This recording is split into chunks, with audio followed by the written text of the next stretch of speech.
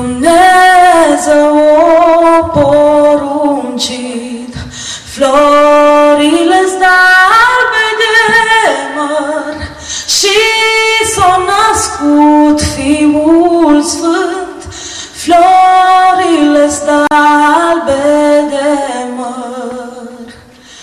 L-a născut Maica cea sfântă,